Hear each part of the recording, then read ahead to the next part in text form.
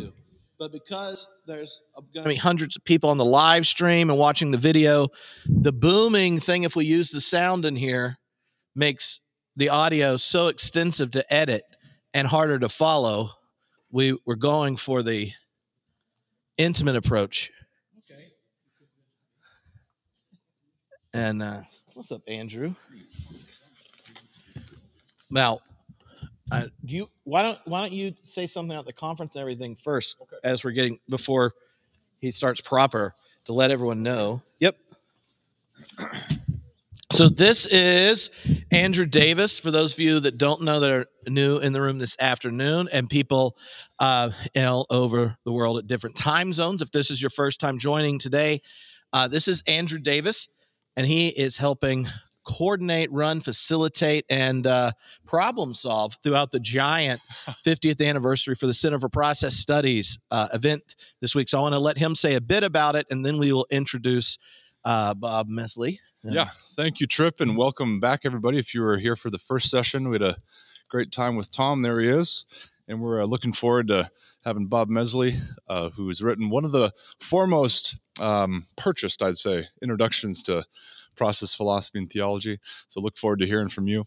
Uh, so I do program directing for the Center for Process Studies, and for over a year now, we've been uh, wrapping our minds around an endless amount of details to try to bring the next couple days into being. So, if, if any of you are familiar with Whitehead's uh, famous mantra, the many become one and are increased by one, that's sort of how I see this event. It's a, been a collective endeavor, uh, many people contributing. So, we thank uh, Tripp, of course, Homebrew Christianity. We have EcoCiv, the Cobb Institute, uh, the Institute for the Postmodern Development of China. We have multiple co sponsors who are helping us bring it into being. So uh, do attend tomorrow. It starts uh, in the morning from 8 to 9. We'll be doing registration. There'll be coffee, time to look at books and browse some of the organizational tables. And then we'll be jumping right into uh, three days of interdisciplinary exploration of process thought. So hope to see you there. And, and for those on the stream, they have the opportunity of joining digitally Thank as you. well. Yes, thanks for that reminder. We do have a live stream that can be joined. It's uh, if you uh, simplest way is to go to the church's uh, YouTube page and hit the live button. So that's we're at the Claremont United Church of Christ, and you can find their YouTube page uh, quite simply. So hope to hope to have you involved. Excellent. Excellent. Awesome. Thank you. Now, Bob, you can come on up here. So uh, I'm super excited about this session. Uh, as someone who has been proselytizing on behalf of Process for on the internet for 15 years in three weeks is when I started Homebrewed Christianity. Back back when you had to have a page on your website to tell people what a podcast was. Uh, episode eight of Homebrewed Christianity, I believe, was the first time Bob Mesle was on the podcast and it back then you had to explain to the people you emailed inviting them on what it was. And you're like think talk radio but on demand and you can pause and come back to it. And that was before iphones. So you had to download it on your computer and then upload it onto your ipod or actually listen to it on the website itself. Uh, so uh, you know that means we're you know we're, we're like a month away from 15 years of Wow. digital friendship, Bob. impressive work, Tripp. Yeah. Work. And so, um, everyone that's on the stream and such, uh, you'll get the email when you get all of the recordings and everything. We will put links to both um, uh, Mesle's Intro to Process Theology and Intro to Whitehead's Philosophy uh, texts, which are exceptional. Uh, whenever I teach uh, process theology or philosophy, I use his Intro to Whitehead book because um, I find it's really helpful when you're thinking about philosophical uh, theology or thinking about philosophy of religion, or then you're take engaging the sciences. That sometimes we are so we get so invested in applying the philosophical vision we're attached to, we don't take the step back to watch its big picture. Uh, and and so I, I was thrilled when uh, I lured Bob into introducing us to process philosophy today. So uh, what we're going to do, uh, Bob will take over. He will get, introduce us to some of the big concepts and such. Everyone on the stream, you can drop in your questions. Uh, put the word question at the front of it so Mason can uh, save it. After Bob gets done, we'll talk a little bit. And, and get Mason will turn his camera on and become the the voice of the internet. Uh, but we also have another mic over there for everyone in in the room. So uh, it, we'll have like concentric circles of growing conversation uh, through uh, through the afternoon. Um, but first, uh, Bob's going to take over and give us a little tour of the philosophical vision. Well, thank you, thank you very much. Uh, it's and really Tripp's been doing important work on this, as he says, for a very long time, and all of us in the process community are quite indebted to him for that. I offer a few words of orientation here about what's happening right now. This is an introduction to Alfred North Whitehead's process relational philosophy. And Whitehead is the figure whose ideas um, provide the network for most of what brought this particular community together this week. But it's very important to understand that it's just Whitehead is just one person in an ancient tradition of process thinkers. It's a process relational thinking, it's ancient, it's multicultural, and it's multidisciplinary. So you need to, to understand that. For example, in ancient Greece, Heraclitus said, All things flow. You can't even step in the same river twice because it's all flowing. And he had a student, by the way, who uh, I think must have been trying to get his PhD because he said, Well, my, my master is wise and has said an important thing, but he didn't say quite enough.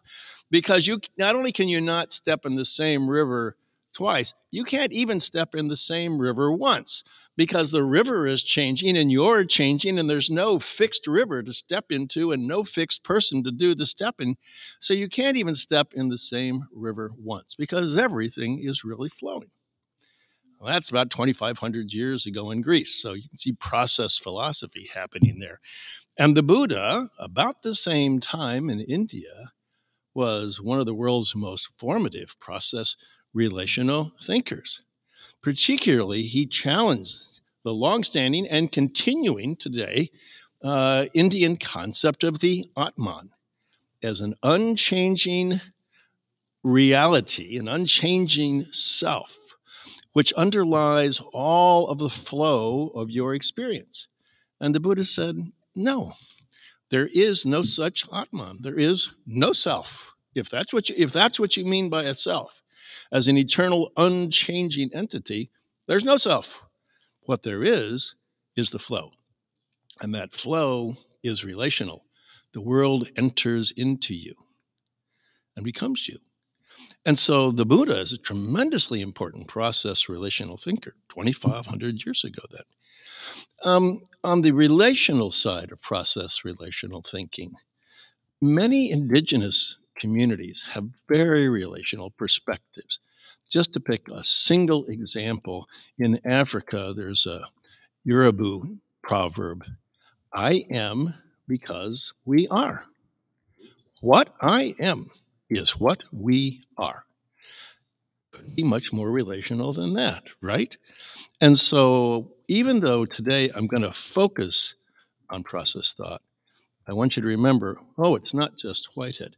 Uh, also, I want to put in a plug for Jay McDaniel, who I think is doing, along with Tripp here, but Jay is doing some of the most important work at reaching out beyond the tradition created by Whitehead and John Cobb and David Griffin to reach out and to find people who do process relational thinking, perhaps without any even knowing about Whitehead but who nevertheless are doing something that is process and something that is relational.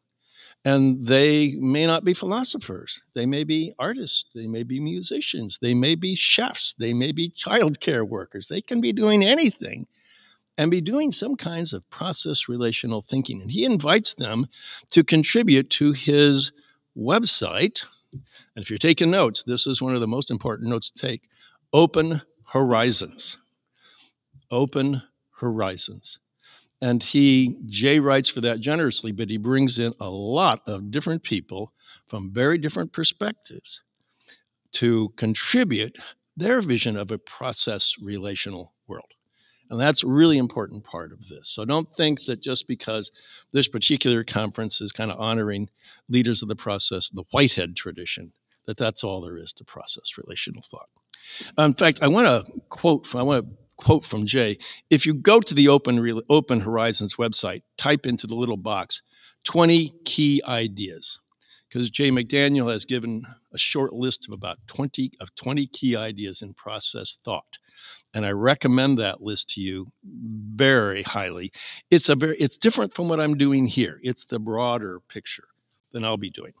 Uh, let me even read to you just a little bit from Jay's from the end of that piece. He writes, "Process thinking is an attitude toward life." Emphasize. Yes. You can't hear me? Um, okay. Is, can anybody, does anybody else have trouble? I don't want to blow the mic down, but okay, I will speak up. I was speaking to the mic for Zoom. I Zoom, but uh, I'll speak up to the audience who's here too. Thank you, Arbor. Can you hear me now? Okay, good. I'll I'll speak past the mic to you folks, and the mic will pick it up part way there. Okay, fair enough. And if you right across from me, if it's too loud, I'll you know do a little of this. Okay. okay, fair enough. Sorry. Okay. Jay writes process thinking is an attitude toward life, emphasizing respect and care for the community of life. It is concerned with the well being of individuals and also the common good of the, of the communities and the communities of communities of which we are a part. Process thinking sees the world as a process of becoming and the universe as a vast network of, to use a Buddhist term, inter becoming.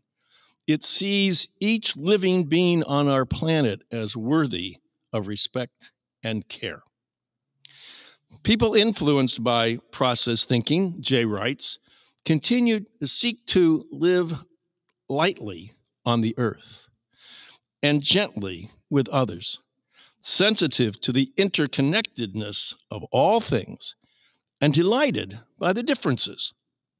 They believe that there are many ways of knowing the world verbal, mathematical, aesthetic, empathic, bodily, practical, and that education should foster creativity and compassion as well as literacy. He continues Process thinkers belong to many different cultures and live many different regions of the world Asia, Africa, Latin America, North America, Europe, Oceania. They include teenagers, parents, grandparents, store clerks, accountants, farmers, mus- musicians, artists, and philosophers. By the way, Jay does a great Elvis imitation. But um, so I wanted to share that with you before I start focusing on particularly a Whiteheadian concept of process relational thought. And of course, we have limited time. I you know, used to teach a semester on this and just get started. So we'll just try to cover a few basic ideas. A couple times I will pause for questions. Feel free to chat, including those of you zooming in, but also try to leave room at the end uh, for a little more extended questions and conversations. And since you're starting something at three, what time should we be thinking about closing up? You might give so a little thought have, to that. at least 20 minutes or so between for people to stretch. Ah, okay. and- All right, that's good. All righty. Uh, so here we go. Hmm. When you get done, and you think somebody asks you, well, what did, what did that guy do? Here's something you might say. Uh, and you know, me and you get a little confusing here because I'm going to say, what is it like to be you? And I want you to turn that around and tell the other person, Bob asked, what is it like to be me? Okay? Not me, the you that's me. All right? I want you to think about what is it like to be you? Because the reason I want you to think about what it's like to be you is because you are not an exception to the universe. You are not an exception to nature. You are an example of nature. Okay? So I'll be asking you to think gosh, what is it like to be me? If I am not an exception to nature, if I'm an example of nature, well, what is it like to be me? So, I'm going to be asking you to think about that, about these key concepts as we go along. First, process, no surprise. Secondly, relational.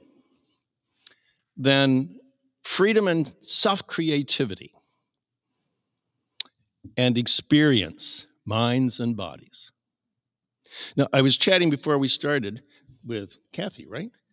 Uh, who was expressing an interest in theology, and I was giving her fair warning that I'm doing philosophy and and Mary Elizabeth Moore is doing theology at three. But you see, there's a connection between philosophy, what I'm doing here today, and theology, because if you're going to have a vision of God at work in the world, you need to have a vision of the nature of the world within which God is working, and different visions of the world will fit with different visions of God at work in the world. So there's a connection between what I'm doing and theology. And Tom was doing theology this morning too. But so there's a connection. So I hope that'll make sense to you. And so let me um, take a drink of water and tell you how I got converted to process philosophy. And I'm going to confess that at the beginning, I was converted to process. And it took me a uh, some, some years to really understand why it was important, for me at least, to add that little extra bit process relational philosophy, process relational theology. And unfortunately, I'd already written my first book, Introduction to Process Theology, before I really fully appreciated that. So it's not in the title of the theology book where it belongs, but the word relationship is in the philosophy book, Process Relational Philosophy. And I wish I'd had it in the title of the first book because the longer I think about it, the more you understand that the process is inherently relational. There's, there's no other way to do it. And so you can't just skip over it.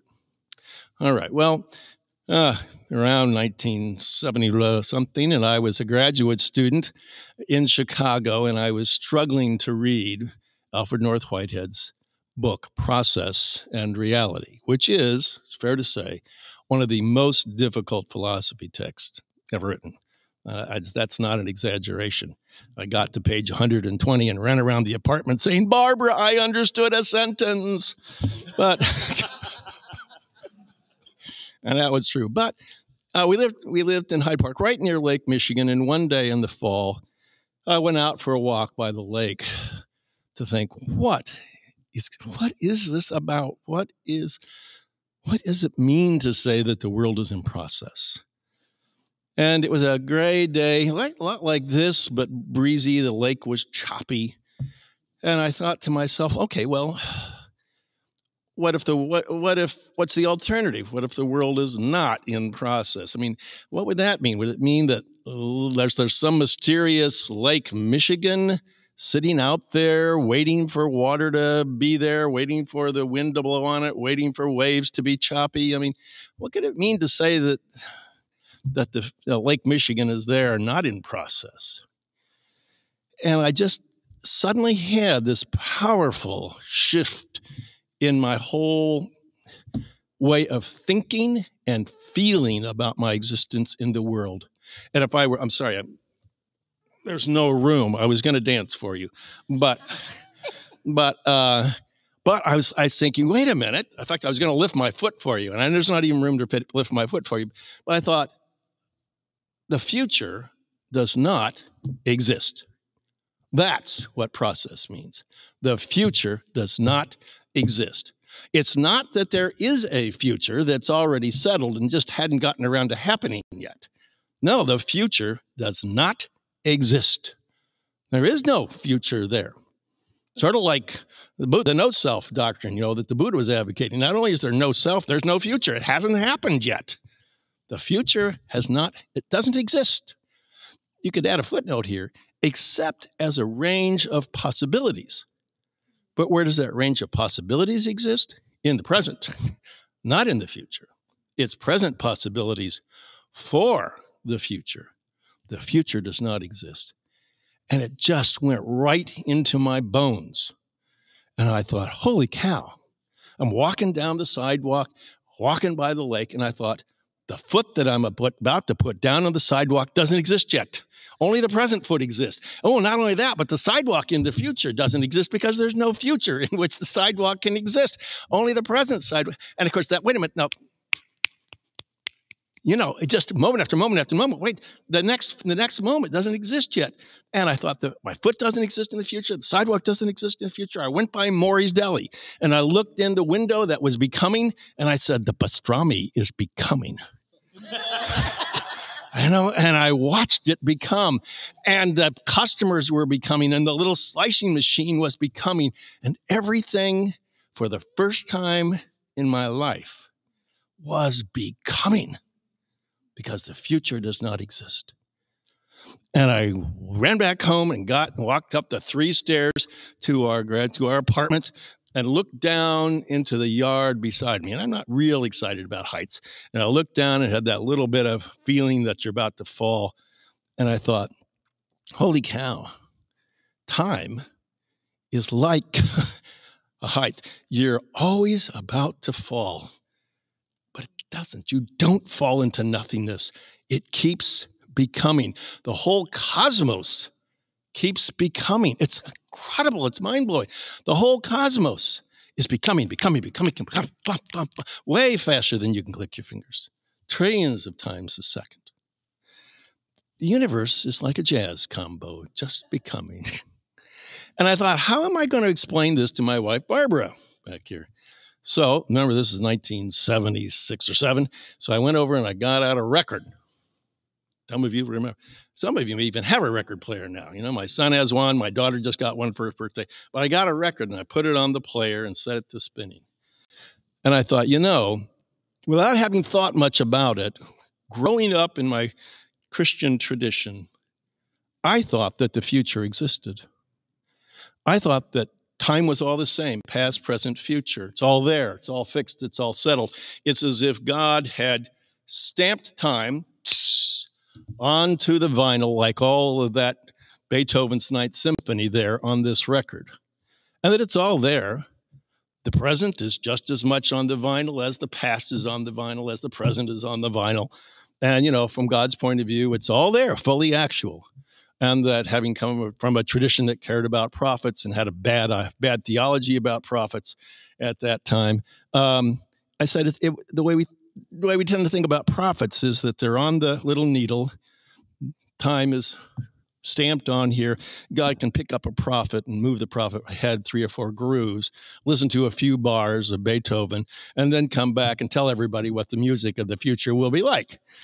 And it's a terrible view of prophecy in any case. But I realized, oh, wow.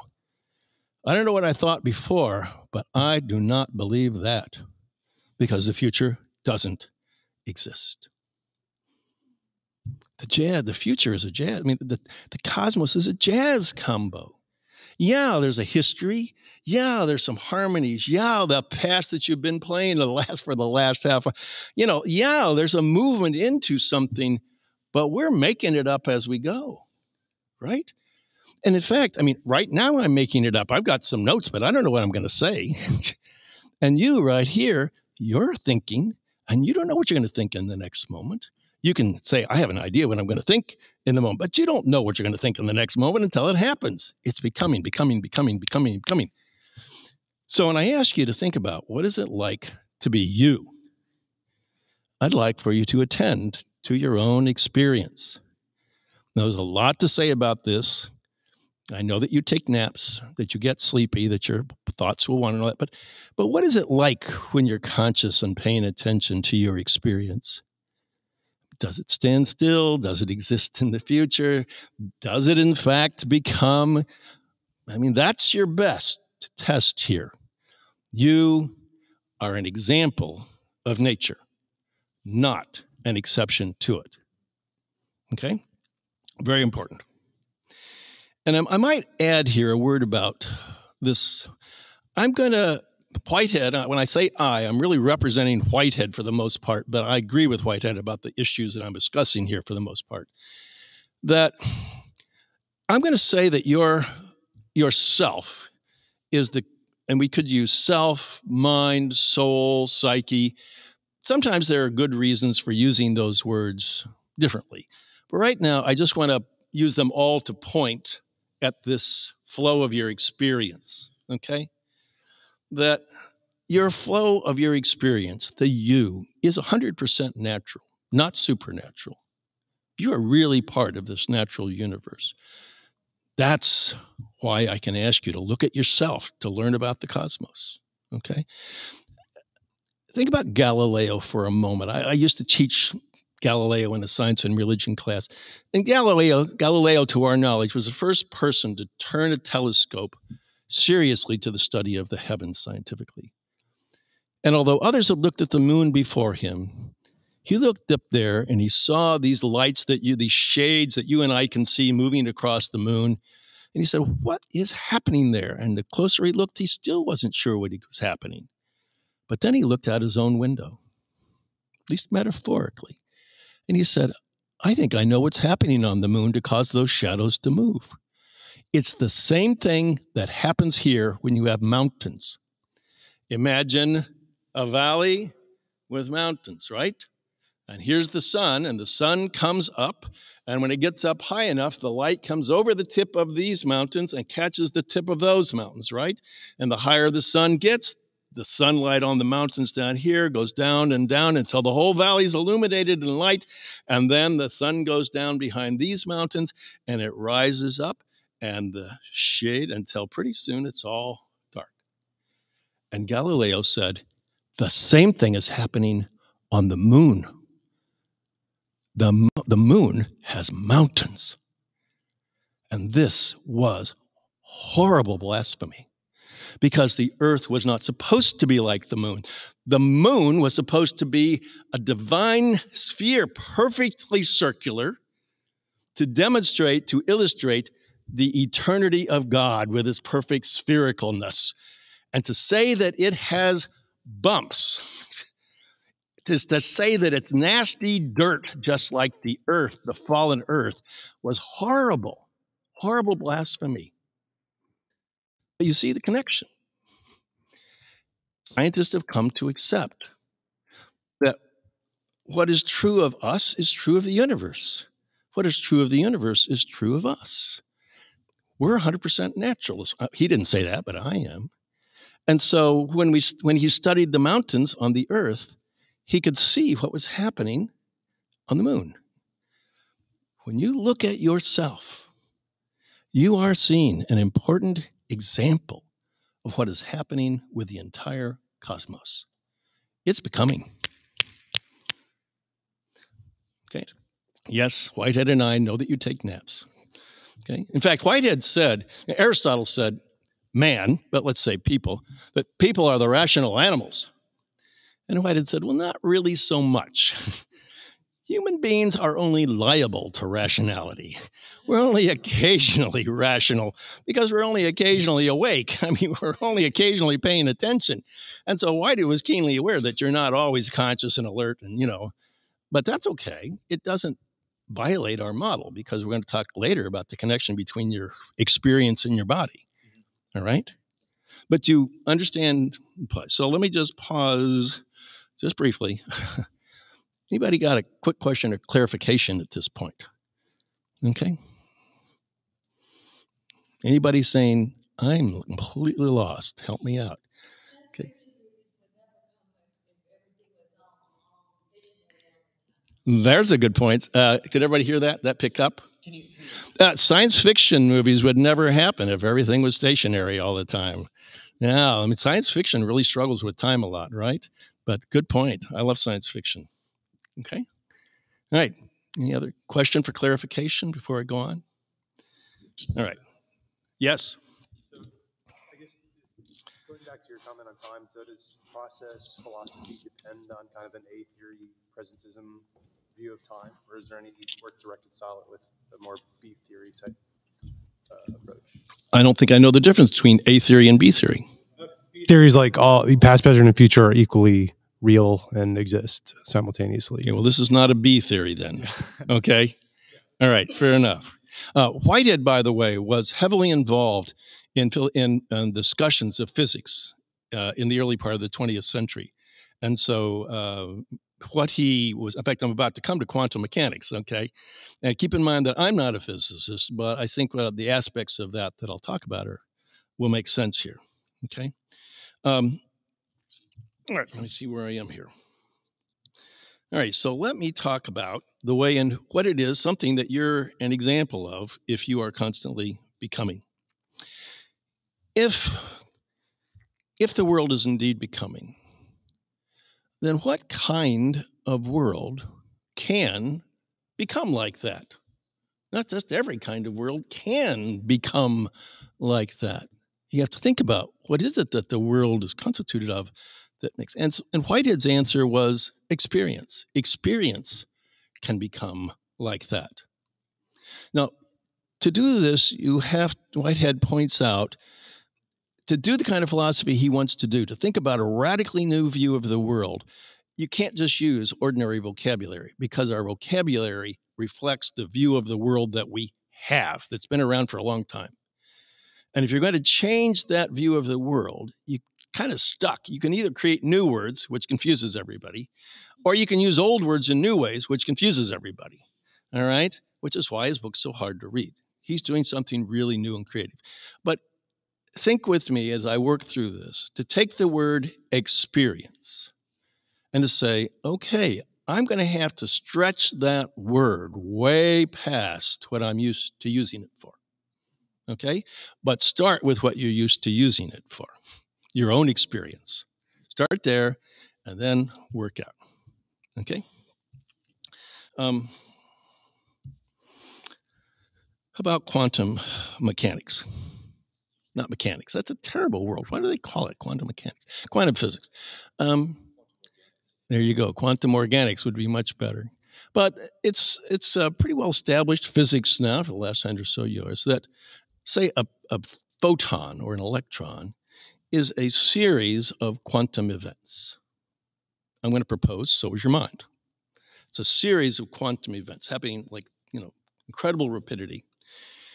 And the other thing we know about that flow of quantum events is that no matter what conditions you impose on a photon or an electron, you cannot know exactly what it's going to do. Okay? Quantum indeterminacy. You cannot know. And it's not because our knowledge is limited, is the claim, but because you really can't control what that photon or electron is going to do because it is indeterminate. Now, the word freedom does not usually get used here because we usually confine it to human beings. And it's be, there's other reasons for that because early natural science was rooted in a philosophy that rejected any kind of freedom in the natural world, so that everything was just completely determined. But think about this photon, a series of quantum events. And no matter what conditions you impose on it, you don't know if it's going to go through that slot or that slot. A slit screen experiment. Well, what does that mean about those quantum events? That in each moment, a quantum event arises out of the past, a very powerful past, just squeezing down on it, the whole past history of the universe, squeezing in on that little quantum event. And it must, in some sense, however you want to talk about it, confront a small range of possibilities for its own future, for its own, for its own becoming. And among those possibilities available for its own becoming, something is going to be trivially and boring, trivial and boring from our perspective. I mean, this side slot, that slot, nothing very interesting to us. It's going to have the power to choose. For a hundred years, they've demonstrated with experimentation that no matter what conditions you impose on those quantum events, they have the power to choose what they will become. Now, usually physicists speak about indeterminism. But if, if we mean the power, the ability, the power to arise out of a past, confront a range of choices, whether tiny or vast, and to choose, to self create in that situation. When we're talking about humans, we definitely call that freedom. And Whitehead wants to say freedom is not only real, it is inherent in reality. It is inherent in the deepest roots of this physical universe. And the becoming of your mind, like the becoming of a photon or electron, is an example of what this whole universe is doing, how the universe is becoming free self creativity. Now, let's just be clear for a moment. Remember that little tiny protonic quantum event? It doesn't have much freedom at all. I mean, really, it's just minuscule, right? But it's not zero. It doesn't have much self creativity at all, right? But it's not zero. And you have days when you feel the weight of the world constricting you and confining you and trapping you, and there's nowhere to go. The past is pushing you, driving you, squeezing you, but you still have choices. In fact, you don't have a choice to not choose. You have to go ahead and choose, right? You have to choose. You have to create yourself in that moment, even if every option open to you sucks. You have to choose. Okay. Okay, my, is this pay attention to yourself because you are an example of the cosmos, not an exception to it. Now, for the sake of authority, let me turn to Stephen Hawking. okay. Uh, uh, you know, Whitehead's pretty crazy, and I'm not too much less crazy. Um, but let's turn to Stephen Hawking. He was crazy in different ways. Let me quote from Stephen Hawking's book, co authored, on the grand design about what we're discussing. Notice he doesn't use the word freedom, which I think is very significant, that physicists just can't get out of that early 17th century thinking to talk about freedom. But he does say this Nature does not dictate the outcome of any process or experiment, even in the simplest of situations. I mean, if it can't control a photon, how can it control your mind? Rather, it allows a number of different eventualities, each with a certain likelihood of being realized. Quantum physics might seem to undermine the idea that nature is governed by laws, but that's not the case, he says. Instead, it leads us to accept a new form of determinism. Gosh, I wish he'd said a new vision of freedom, but he didn't a new form of determinism.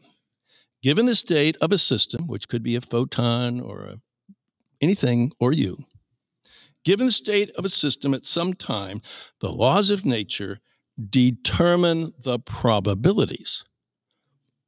But let's put in there possibilities because all of the probabilities are possibilities, right? Just some more likely than others. Various probabilities of various futures rather than determining the future with certainty. Okay, so Stephen Authority is a good person to ha- uh, Stephen Hawking is a good person to have on your side in this kind of conversation. Okay, so for electrons, small range of choices. For you, much richer range of choices. But you and the electrons share some important fundamental things. Okay relational process. That electron must create itself in each moment out of its past, out of its relationship to its past, and out of everything that's going on around it. It's complicated here. There's some relativity stuff going on, but out of everything that's going on around it, it doesn't create itself in in an utter nothingness. I hate to say vacuum's a little complicated there, but okay. And you are creating yourself in each moment right now, right? This, oh, sorry, that was past. On to the next moment. okay. You are creating yourself in each moment out of your your past and every relationship you have. May I ask the present audience here, real clear, or you can type it in chat. Think of something you're related to, real quickly. Not, not, I don't want a paragraph. I just want a word or so. What are you related to, folks? The ground. What are you related to? You can put it in chat. What are you related to? What? Trees. I'm re- your own body. Thank you. Yes. Other people. What?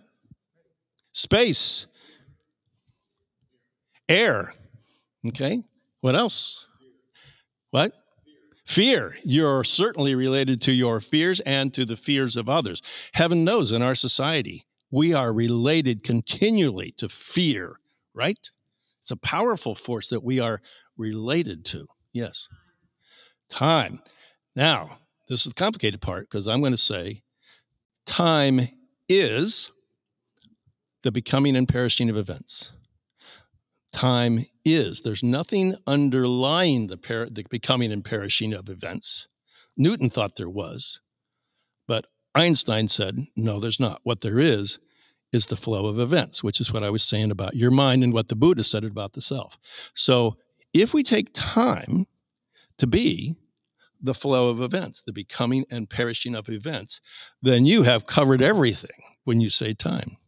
We are related to the becoming and perishing of every event. Now, got some relativity issues here we'd have to talk about. Okay.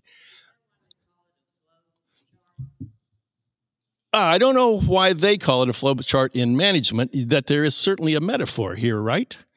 Because the chart is supposed to map out some kind of connectivity, which is like the coming and perishing of events. There's a connection in the causal connection here, right? All right, but you get the idea. And a, time is a nice one because time is the becoming and perishing of events. That's what it is. And so that covers everything. You are related to everything. Got some relativity issues to work on here, but let those go. Right. Yes, the cell phone. That's right. The beginning and and the living with, and maybe someday, who knows, the perishing of the cell phone as we know it now. It'll just be implanted in your brain. But anyway, you're creating yourself out of all of these relationships. Some of them are very distant. Um, the these days, I always just said the Big Bang, but now John Cobb and Tim Eastman are making me think I'm not sure about the Big Bang. Anyway, but the whole past history of the universe has has set it up for you to be here in this moment. Without it, without the formation of the earth, you wouldn't be here making this decision. Without the formation of the sun, without the evolution of life, without trees to produce oxygen for us. Nobody mentioned other animals, did they? Except for time, which covers everything. That nobody mentioned other animals. We're related to other animals all around us. In our body, we're got full of animals that constitute us, right? and every living cell in our body, right? Every single living cell in our body is affecting us because we're, anyway, that's where our experience is coming from. All right. Um, I'm having too much fun. The time is flowing past way, way too fast for me. All right. Um, so you don't create yourself in each moment out of nothing. You create yourself just you can't say out of the whole past history of the universe that's true because the whole of evolution of the, the evolution of the galaxies of the planet okay the evolution of human history the emergence of your culture the emergence of your family the emergence of all the people you know and all the strangers and all those terrible people you you know and all those wonderful people but there are people who are closer to you there are things that are closer to you there's the air that you breathe that is here and not someplace else. There's the water you drink that is here and not someplace else. There is the there is most of all your own immediate past experience. Your immediate past, seeing an old friend and hugging them. Hi, it's really good to see you in real life instead of on Zoom. Nice, you know, right? And um, when you hug that, when, you, when somebody gives you a hug, you respond to that event. Good, bad, boring, threatened, fear, joy.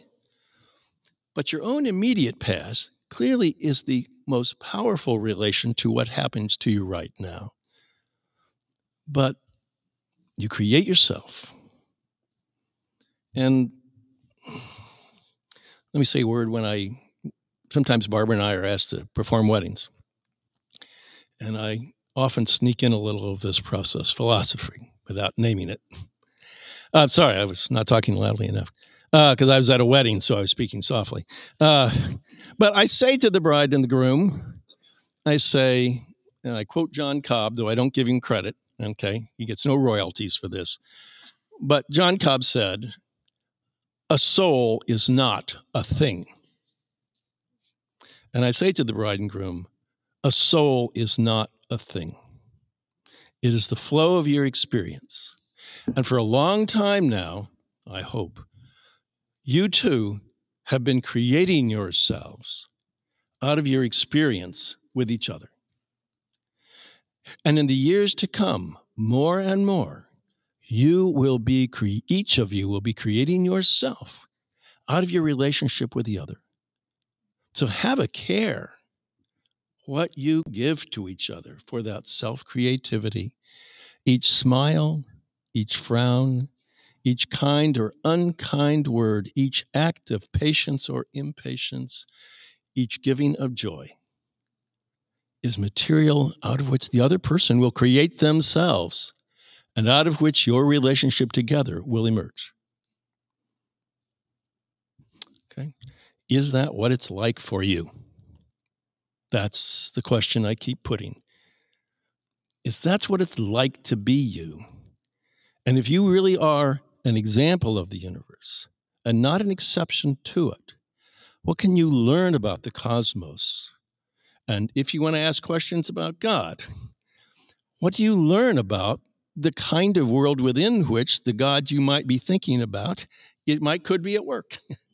what kind of what does it mean for you know and that's come back this afternoon at three from Mary Elizabeth Moore talking about theology but hope that makes sense let me just pause again for questions briefly okay? Can you use the mic so uh, all the people on the internet hear what you're saying? I, yeah. Just the the universal human desire it seems like in all relig- religions and history people are looking for some fixed point. Seems like there's this desire for stability which kind of gets into the substance versus process thing. But i think just with process philosophy what is then the substance or what is the fixed point with which you relate?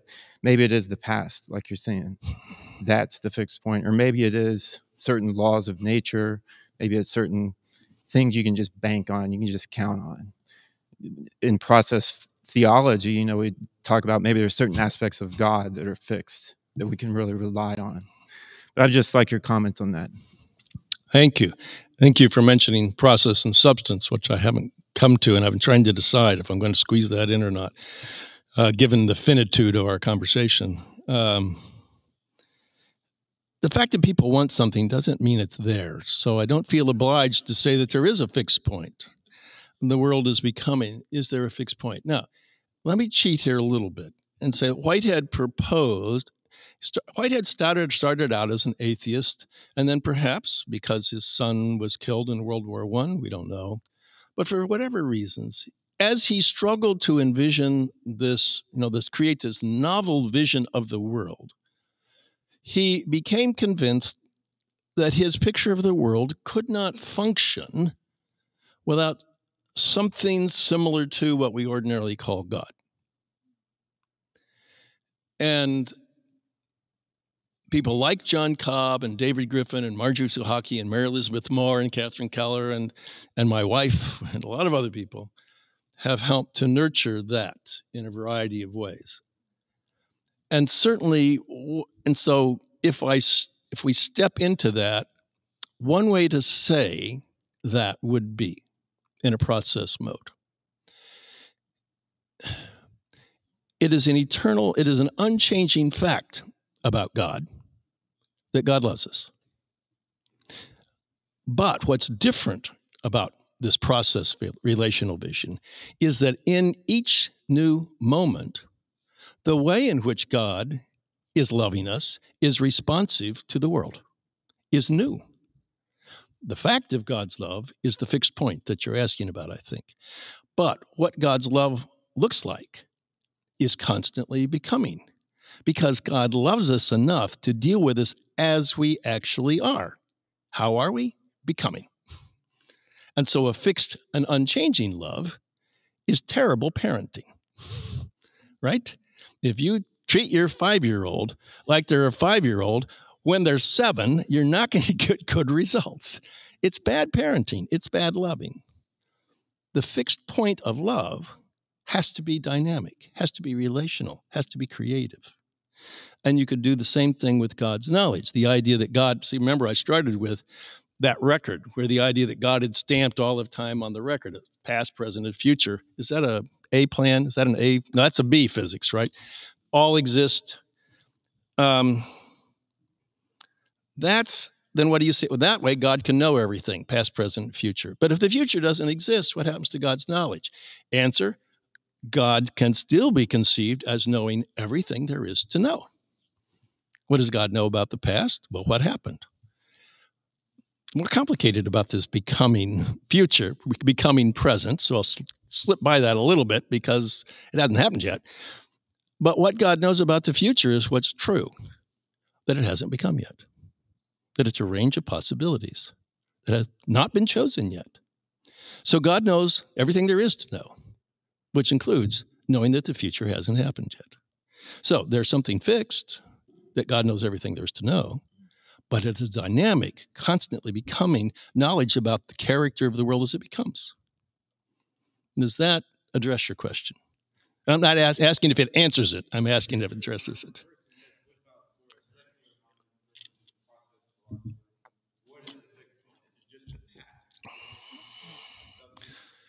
Well, there's no. It's the past is not a substance. So I'm going to use the word substance very carefully here. Um, it has a it has a technical meaning in this conversation. So it doesn't mean still point or cone point or something. Means I'll explain it in a moment. Fix, yeah. Um, and I don't know about the answer to that because our understanding of the past changes. Our memories, my I don't trust my memories nearly as much as I used to. Um, the way in which the past is taken up into the present changes because each it's a new creature in each moment doing the taking up of a different past because the past is growing right? Uh, who said the many become one okay? So the whole all of everything all those quantum events in the universe are poured into the next each each new quantum event each new moment of your experience creates a new moment. The many become one and are increased by one. So, in that sense, the past is growing. So, it's not quite a still point either, is it? I think the past is past. I don't think it's I don't think the past is changing, but how it interacts, how we create ourselves out of it, how we feel the past in each new moment is new. So I think my answer is, as one of the people that you were asking about, is that I live without what most people would think of as the still point. I think I live without what a lot of people mean when they ask about a still point. I, I don't have one. And in the introduction to that little book that I noticed you had in your hand about why I'm a process philosopher, and this is just me, this is not Whitehead, this is not John Cobb, anybody else, this is Bob Mesle. Everything I care about most is in time. I mean, philosophical concepts, platonic, okay, that's nice. But I care about Barbara. That's who I care about. I care about my kids and my grandkids. And in varying degrees, because I'm seeing your wonderful face, I care about you right now. And, but I care about every time, you know, I say worship is an act I don't know where I got this. Okay. Worship is an act of centering your life around what rightly stands at the center. And what rightly stands at the center is a very complicated question to figure out. And I have a lot to say about that. What right do I have to put my wife, my children at the center? And I think I have a right because they are part of the whole cosmos. If I look, you know, uh, been said for a long time by the Buddha and lots of other people, if you look deeply enough into my daughter Sarah, you will see everything. She's a window to everything. She's an example of everything. So I think it's all right that when I hug Sarah or hug Barbara, I am rightly centering my life around what stands, what rightly stands at my center. Okay. And that's a kind of a still point, but it's moving. It's a, it's not very still, is it? I have to count on them to be changing, to be growing, and eventually to perish, I hate to say. And I just have to learn to live with that. I'm not a theist. Okay. It's been an hour now, so let me pause. I've not even gotten around to substance or body Oh, or anything. How are we should definitely do those. Th- This is Yeah. great. Can I ask you a quick question? Yeah, please. From Let's take a uh, being harassed on my text messages, Uh-huh. um, uh, one is uh, uh, is when John, uh, as a Wesleyan, Uh-huh. was trying to nuance this contrast between wanting something settled and fixed Mhm. and shifting uh, to becoming and flow uh, in his what is it radical Wesleyan theology.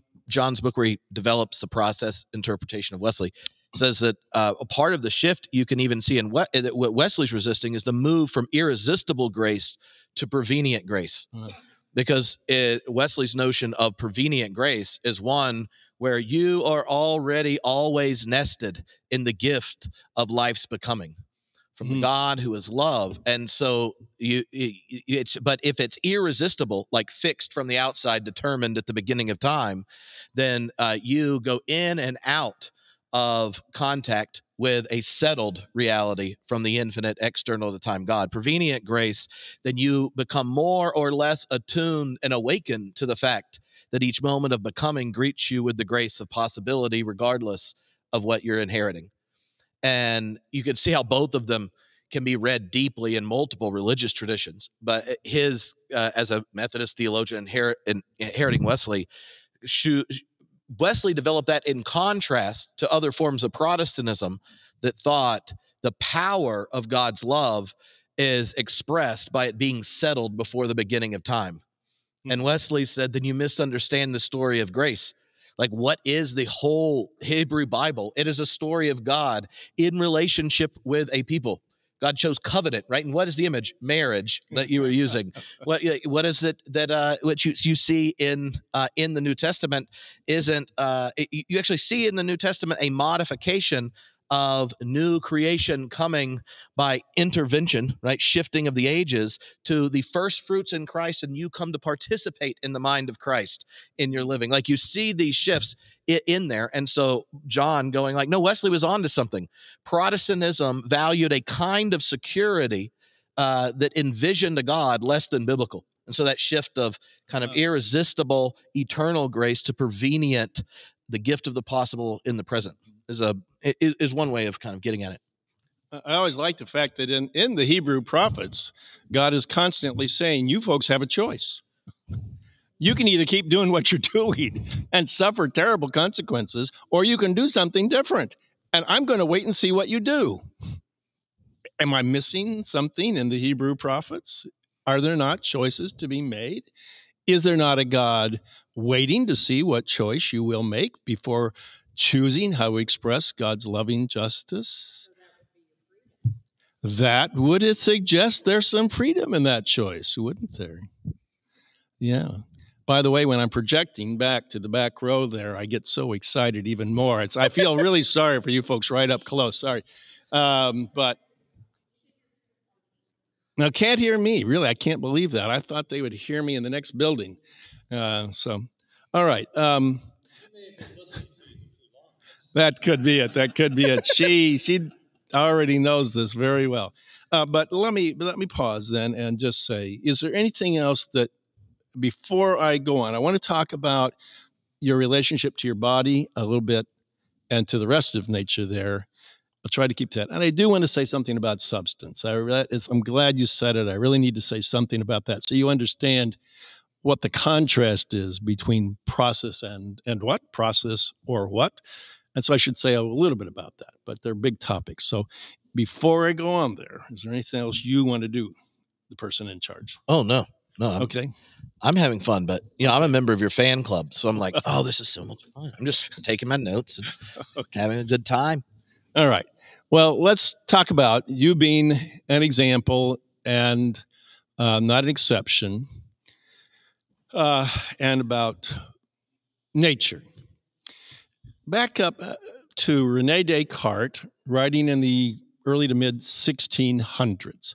And Descartes is commonly and reasonably referred to as the father of modern Western philosophy you know the think that i think therefore i am that's rene descartes and um, so the father of modern philosophy on which modern scientific understanding of the world. The, the philosophy behind early modern science was descartes philosophy. Galileo led into it. They were it's they've had the renaissance reaching back to ancient greece greek philosophers like democritus who and you know Galileo and Descartes just reached back.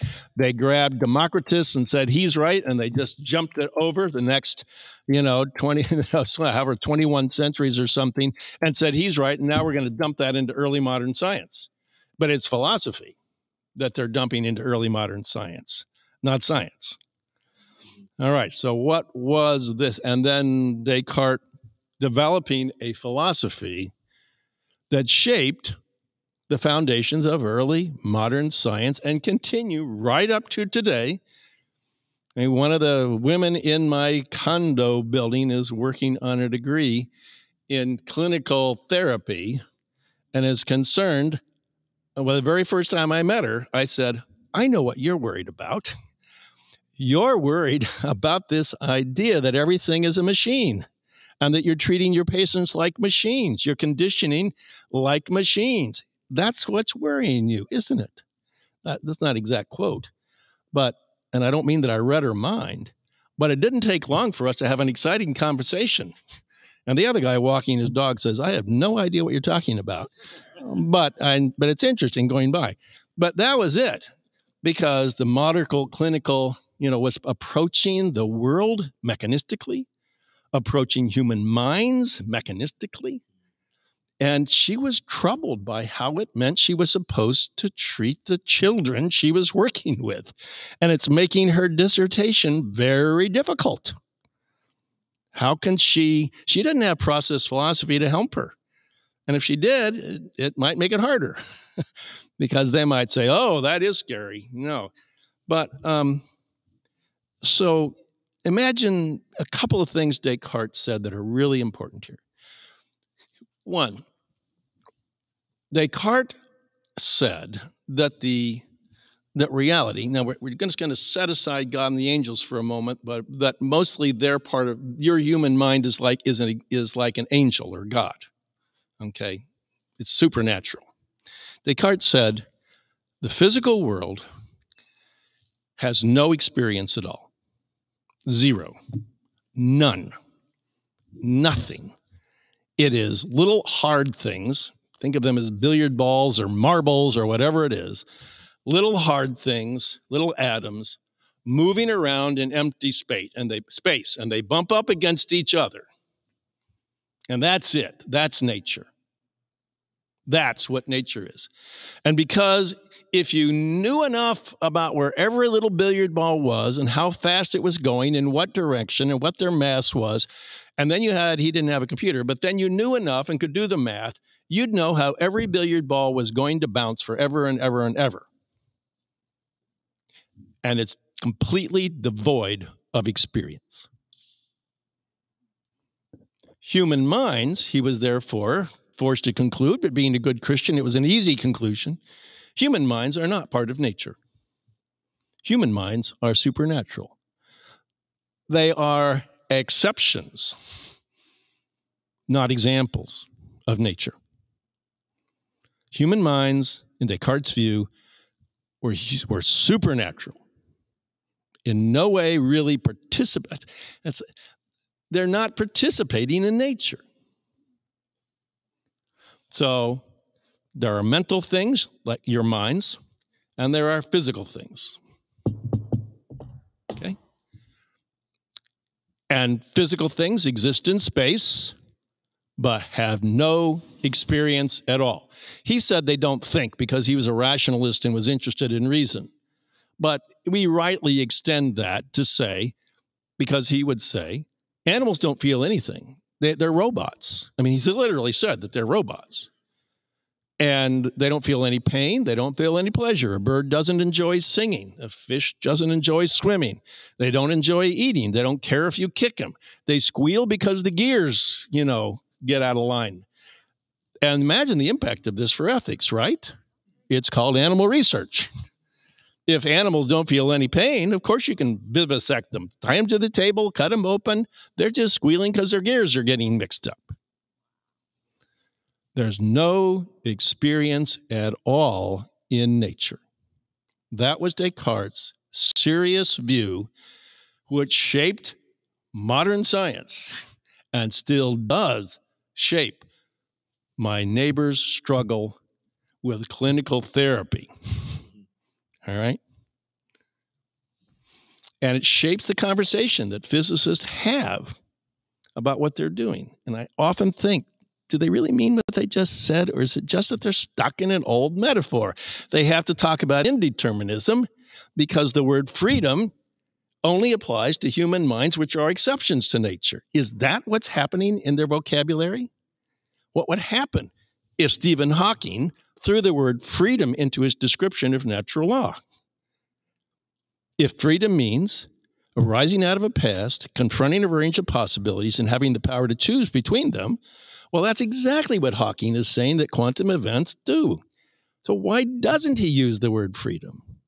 It's not for scientific reasons, it's for philosophical reasons, right? I'm getting a lot of nods over here from you know the Center for Process Studies. All right, because it's for it's for inherited philosophical reasons from Rene Descartes and from Democritus back 25 centuries ago. It's nothing wrong to be bad to be 25 years centuries old. The Buddha was 25 centuries ago, and he knew better than this. he knew that that's not what it's like. Okay. Now, the other thing, and so then when I ask you, what is it like to be you? What I want to ask you is, is it like you that you have a mind which in no way interacts with your body? Now, you can imagine this was a real problem for Descartes and all of his all of his followers. If my mind thinks but is not in space, it can't push on my brain. It can't pull any levers. It can't push any buttons. It can't fire whatever they thought the brain was doing. My mind can't do that because it's not in space to do any pushing or kicking or squeaking. And if my body is in space but has no experience, well, it can't push on the mind because the mind's not in space, so there's nothing to push on.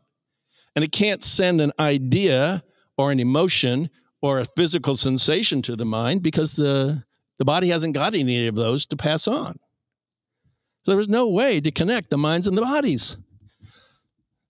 And Descartes said, Well, there's this little pineal gland in the back of the brain. Maybe that does it. And everybody goes, You've got to be kidding. Why is the little pineal gland? Is it not physical? Well, yeah, okay, it's physical. Does it have any experience? No, it doesn't have any experience. So, and Princess Elizabeth wrote to him and very politely said, I know I'm just a woman and I don't know anything. But does this make any sense? right? Okay, so what Whitehead's proposing, go back to that uh, little quantum event that's forming electrons and protons and neutrons of which your body is made and forming and evolving into living cells. Whitehead's proposing this incredibly crazy, crazy idea that experience is not confined to human minds, but goes all the way down.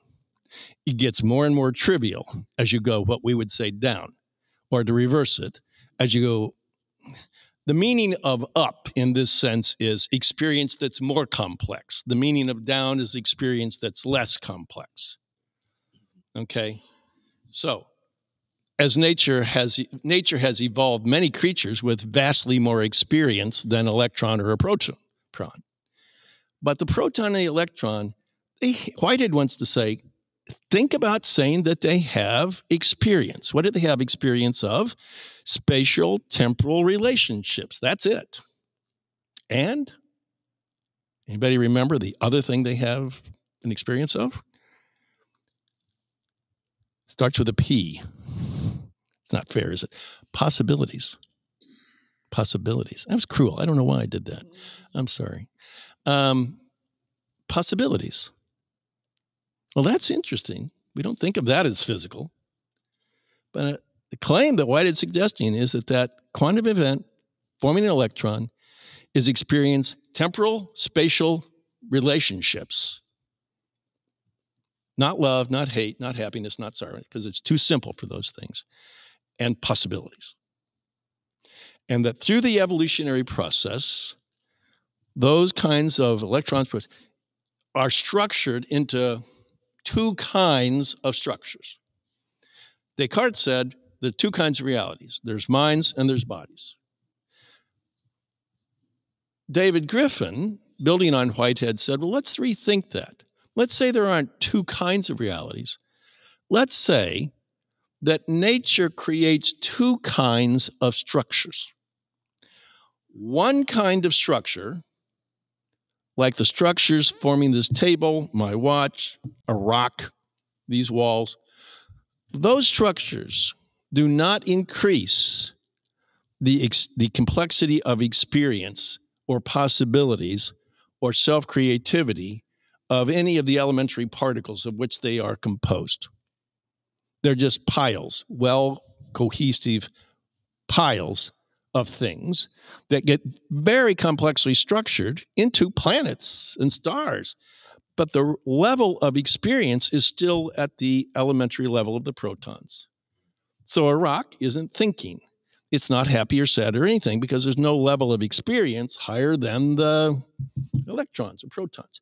Same for the table. So, so Descartes wasn't completely wrong there is a physical universe that's not happy or sad or doesn't feel any pain, and you can kick a rock and take an axe to the table and it doesn't feel any pain.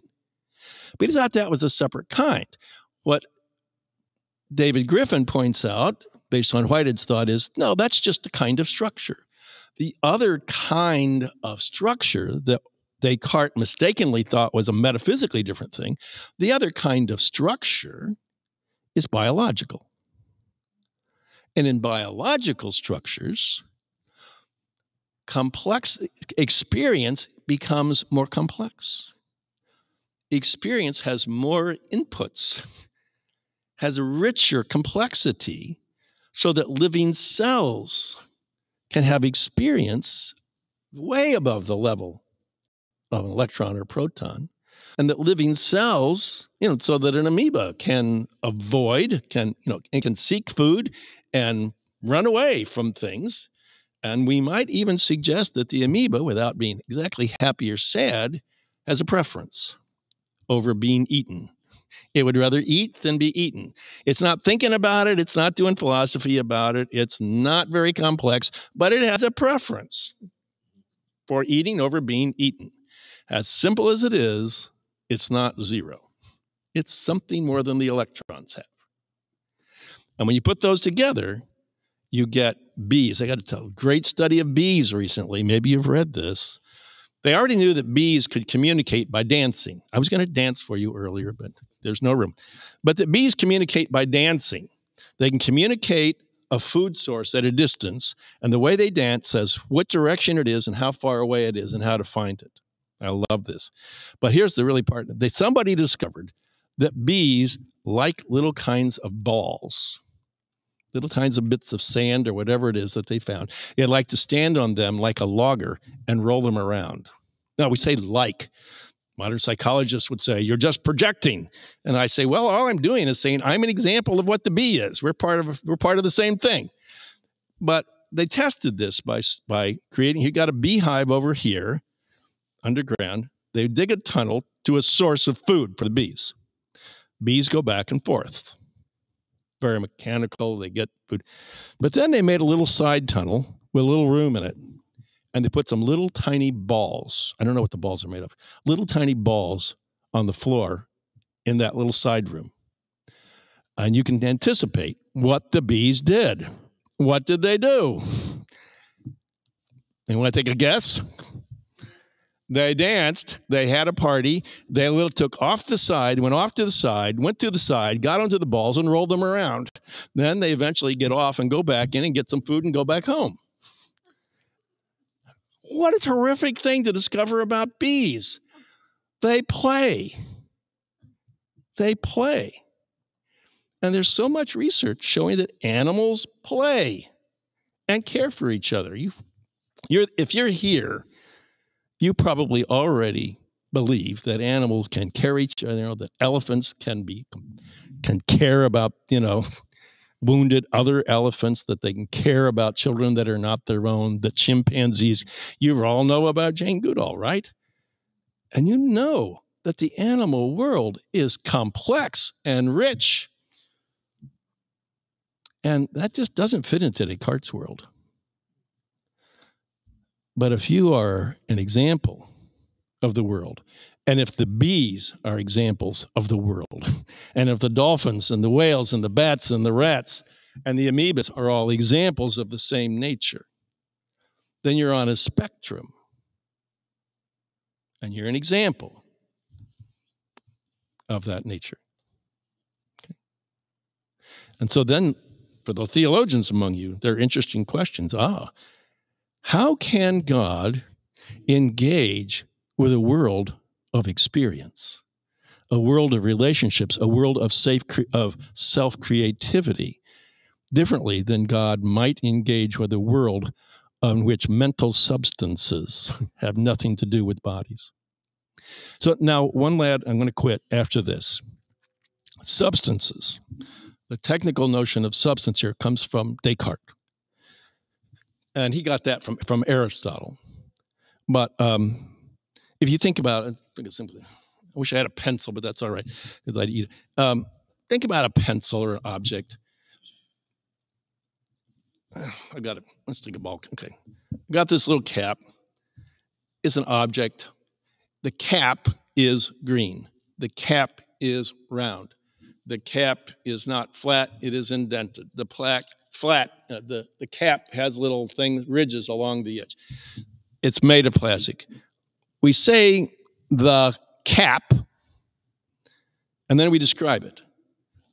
Well, what if we change those? Now, this is what I love to have a pencil in class because I say the pencil is so long, it's got graphite, it's orange, it's got a little metal band, it's got an eraser, and then I bite off the eraser. So, okay, so we change the description. The pencil does not have a metal band. The pencil does not have an eraser. The pencil was blue. And then we scratch, I scratch off all the paint with a pair of scissors and say the pencil is not blue. Okay. Then I say, imagine coring out the graphite in the middle the pencil does not have. Well, is it the same pencil? It's not a trick question. It's a grammatical problem.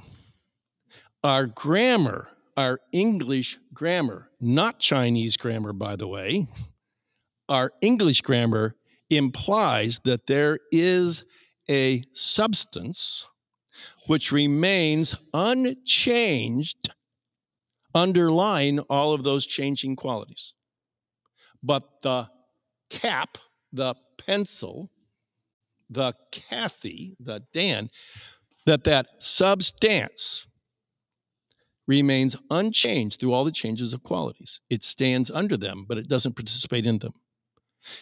In India, that's what the word Atman is about. There is a substantial, eternal, unchanging self. And the Buddha said, no, there's not. There's no such thing. There is the flow of experience, the relational, self creative flow of experience, and there's no unchanging substance under it. And I think that that difference matters. And so did Whitehead, and so does John Cobb, and David Griffin, and Tripp, and everybody else, right? And so you might think about if you're caring about God here, how does God engage with the world of unchanging substances that are not connected to the physical nature, that couldn't evolve out of nature because nature has no experience? How does it, how might a God, what would the possibilities be for divine engagement with such a world? That's this afternoon's question. Yes. Can we use the microphone? Please. Yeah, sorry. And then we got a few more, what, another 10, 15 minutes, and then we need to close, right? You got Sorry, it's hard for me to quit. Yeah, from the chat. Sorry. So I'm really intrigued by what you just said. Um, and I'm thinking about my own experience and Mhm. wondering if it's at all experience, um, experientially the same as a divine experience, excuse me, where maybe a divine entity um, has an unchanging character.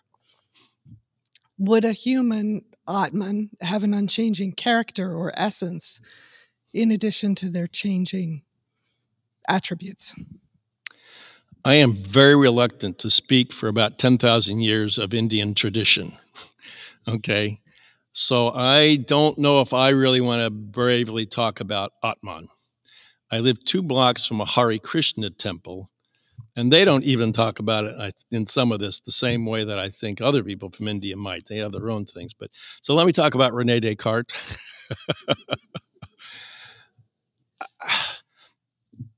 and I don't even think he can make up his own mind about how to answer your question. But I think the theory is that no, there is an unchanging substance and it does not change because the changes are qualities. And the whole point is that it stands under all the changes of qualities. And I think what you're suggesting is that doesn't make any sense. What would it be if you took away every quality of your experience? If you took away every single quality of your anything at all that you could possibly identify and name, wouldn't would there be anything left? If you can name it, well, it's a quality, and you've got to take, pull it out. So I think the trick, and I remember, I'm I'm a process philosopher. I'm not a substance philosopher, so I'm not. They're not equally represented in this conversation. Fair enough.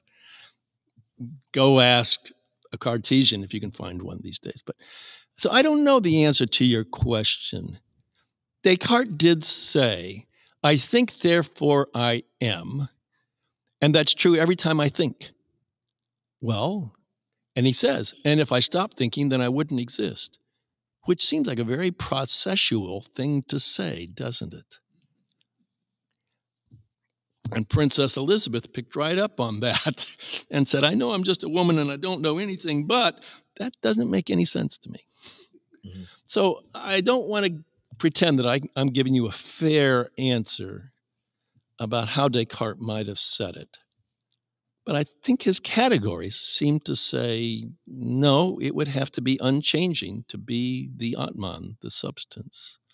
Am I getting at your question and uh, not? use the mic if you're going to talk. Oh, uh, I want to maybe I want to come back to God in a second here. Yeah, I'm thinking of like qualities that we um, attribute to God, like love, Hmm. for example. Okay. I think, remember, I said you might, a process theologian, I think, would say that it is an unchanging fact about God that God is all loving. But because God is related to the world, God shares the experience of every creature in the world.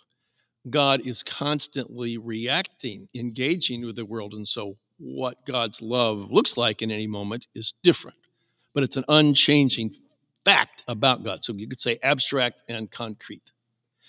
I kind of doubt that human beings are like that. I don't I don't incline I don't find myself being that that consistent. But you'd have to check your own experience and see what it's like for you.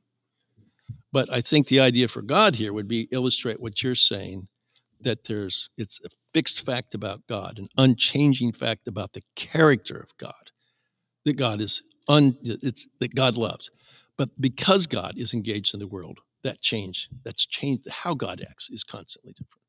Yes. Um, got, sorry. he, Mason's going to hand the mic. Person with the mic. While he's passing that around, I know there have been a lot of questions on the chat, Yeah, uh, but the, the next three days there are ongoing live streams and such. And they is it Friday, I believe, is all the sessions are on process people that are scientists. So there's a number of them are very specific science questions. Um, and so I'll just say, you know, there's gonna be there'll be a whole bunch of physicists and, and biologists I'm not one. and so th- I, I saw those and they I, and I got messages saying Tripp you're not answering the science and religion questions and and there's physicists asking questions well Sorry, physicists. I yeah anyway I didn't want you to feel ignored I also wanted to plug you can come stream with all the process physicists on Friday A- Anything else from the Zoom people that we should definitely address? I am looking at Um, you, Zoom people. You're very. I'm trying nice to see faces. if there's anything uh, that kind of relates uh, with what you've been talking uh, about, like substance metaphysics and everything. Um, let me look through and I'll I'll kind of Okay. sort through questions. Thank you. I saw some hands. Right there Oh, okay. Yes, well, uh, I think one of the things we might need to explain with a process worldview would be the continuity that we kind of experience, though, Huh. over time. Mhm. So, uh, and we we sometimes say when someone is going into dementia, we'll say, Uh-huh. "Well, I went to visit her, but Mary's gone. What's left is the shell, but Mary's gone." Mhm. And it's sort of because that continuity of experience seems to have dissipated somehow. So, Mm-hmm. do we account for the continuity some way that makes us have that internal intuition of self? I think the answer. I think the answer would be um, that you are. I'm going to say your mind, but let's say yourself, your soul. Choose your word here. Is the cumulative. That gives you some stability, right? The cumulative flow of your body's experience. And our bodies, not just ours, of course, but biological bodies in different ways.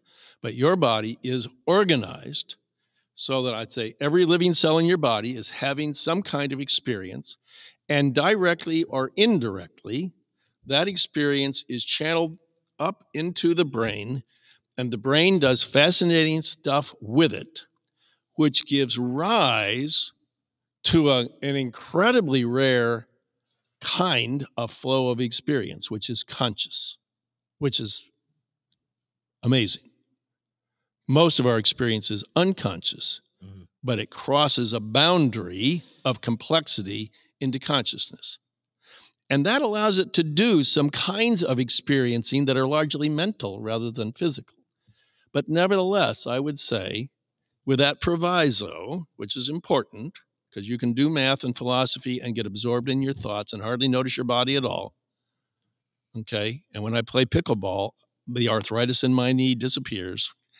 Okay. But it is still the flow of your body's experience. And when your brain is disrupted, it cannot produce the same character of that coherence of continuity. And this is sad, but I think that's how a Whiteheadian approach would come at it. Mhm. It's a very complex question. How does the brain do this? Gosh, I don't know. Nobody knows really, but it's but it, it the brain is doing something, but it comes out of our whole body.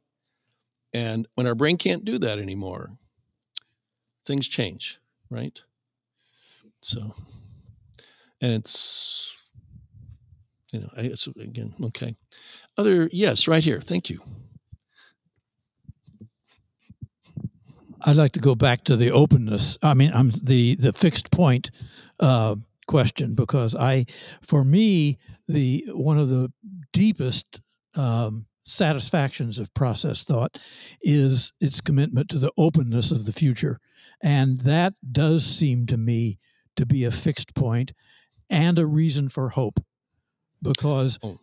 given the continuity and the the pessimism that can arise from looking at the way things seem to be headed, we know that freedom is operative at every moment, and therefore the openness of the future is a reason for hope. and Yes. I that seems to me to be a fixed point and a very profound, spiritually significant fixed point. Little, uh, yeah, it's a little different sense of fixed point than I was trying to answer respond to before. But but I'm happy with that, and I love that answer. Of course, I can. I would definitely agree with you. Yeah, the past is terribly terribly powerful in shaping the future. We can't ignore what has come before, but there's still freedom, self creativity, a range of possibilities. Thank you very much for saying that.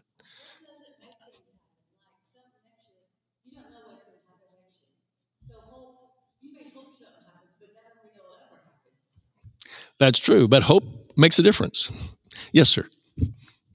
Here, let, Oh, uh, I know Mason. We want to make sure we get some of the questions yes, from people in the stream before, Yeah, because they can talk to you between sessions. yeah, that's smiling right. After face. I go to the bathroom. Yeah, So there are uh, there was one question that is sort of along the lines of what you just answered um, around uh, a hope and how we kind of think about hope when it comes to the future and process thought. Uh, along those lines, uh, there there is a way of thinking about process theology without God. And I know as we've been talking in this conversation, for the most part, there's been this assumption around God. But there is a way to think about process theology without God. In in that case, how does process theology think about things like novelty and value and hope without uh, maybe this actual entity uh, of God in process thought. So, um, yeah, h- how do those process thinkers that don't think about God or have God as part of their their way of thinking uh, about process still have value? Like, how how do they think through value, novelty, hope, those sorts of things? Hi, I'm one of those. I think they were reading your notes. Yeah, they're reading. They reading were my like, notes. "Oh, what has he not got to? Yeah. Let's ask the question." Yeah, uh, that's right. There are process thinkers who are theists. John Cobb, Marjorie Suchocki, Mary Elizabeth Moore this afternoon. Where are you on the time? I'm not sure. Anyway, uh, I think you're doing homebrewed Christianity. Yeah, yeah. That's what. Anyway, and there are people like me who think that process, that Whitehead's vision can function without the God he envisioned. And so, this, from a philosophical point of view, this is all about the status of possibility. Mhm. Whitehead thought that you had to have God to make novel possibilities available. And that's a long conversation. But I don't think so. And so your question, whoever asked that, is is right on target. And for me, for Whitehead, possibilities come in awful, very platonic, fixed eternal forms like two plus two equals four, the character of squareness, and so forth. And I'm not a philosopher of math, so they don't fascinate me. But the possibilities that I'm interested in, possibility is what and this is only part of the answer. I'm, I'm cheating a little bit on Whitehead here, but a possibility is what could happen given a past, given a past, an actual past world. Mhm. That's what a possibility is. If the past actual world doesn't give you any resources for that, then it's not possible. But the past actual world gives us enormous resources, enormous resources for possibilities and the fact that we have these bodies which experience pleasure and pain and hope and despair, and that we discover the consequences of cruelty and of kindness. So, part of the important part of the answer is that I, as an ethicist, I'm about the consequences of our actions. Values arise as we contemplate what will happen if we act in certain ways. And there are a lot of philosophies that don't do ethics that way. Mhm. That ethics is all about eternal principles. Like, you never lie, says Kant. You never lie, no matter what the consequences. And I just can't go down that route. I think it's about the consequences given the actual world. As the actual world changes, we have to rethink what will happen because of our actions. But I think that is rich, fertile ground for values. And there's a long conversation to be had here. Glad to have it with anybody. How do you have committed values in a world of change? I believe it is possible. Okay. But there committed values within a world of change. Mhm. not drawing in committed values, a world beyond that.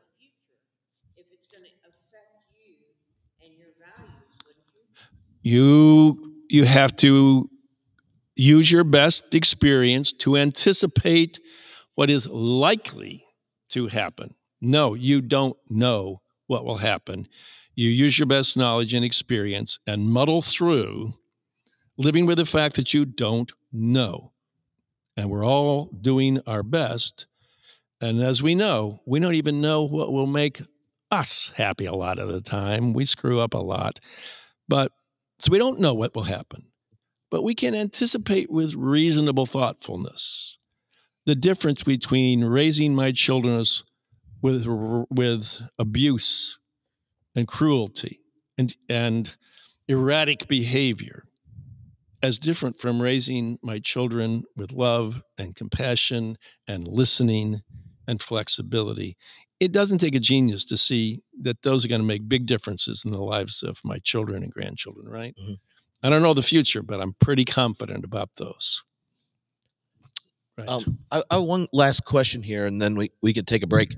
Um, almost 15 years ago, the first time you were on the podcast, um, when talking about uh, this this uh, this kind of increasing engagement with new depths of value and possibility in your life, you talked about uh, you knew you could use the word love but you didn't know how to use it correctly until you you met Barbara. And then you're like, ah, this is what this word entailed, right? And then you were like, oh, we love each other and we get married. And then you held your child, and you're like, oh, oh.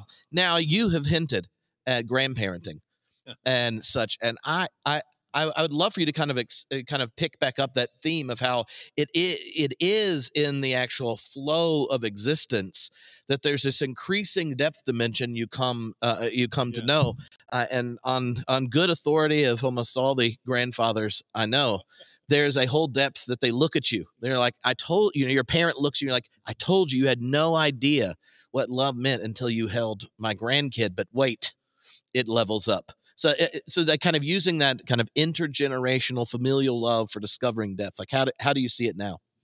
I noticed you asked that just when you said that we should be wrapping up at 20 I, minutes. Well, yeah, you don't, if I asked it at the beginning, you would have got to any of your points. would have been the... I don't have any any real words for that. I uh, I don't. I, I, I agree. It's it's it's it is very. It's so wonderful being a grandparent. You know, so I don't think I really want to try to answer that. Grandparents will figure it out for yourselves because you are examples, not exceptions, of grandparenting. Is a great question, but I don't have any words for it. Um, I will say, as I tried to say before, when somebody asked about Still Point, the first moment that I held our grand our daughter Sarah I mean, I, when she was born, I was in the delivery room. I went out. I used all my quarters to call everybody. And then I went back in and I held her. And the whole world suddenly clicked into shape around Sarah. Sarah matters. That's what I thought. That's what I felt. Sarah matters. And I don't need a philosophy to tell me that she matters. I don't need a theology to tell me that she matters. I don't need an ethical system to tell me that she matters. From now on, that is my still point. Sarah matters, period. That's it. And it's all tied up with Barbara's mattering. And then when Mark came along, and my grandchildren are part of the same still point Sarah matters. And if you look deeply enough into Sarah, you'll see everything. And I can do it badly. like any parent, I can screw it up. I can do terribly, but that's my fixed point. But it takes me into everything, it takes me into you. I look across and I say, if I see Sarah's face there, then I know something about how to treat you.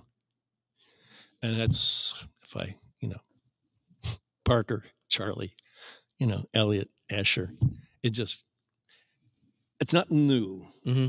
but I think I'll, I'll um, I was going to close. Uh, let me close with a passage from the the Hindu scriptures.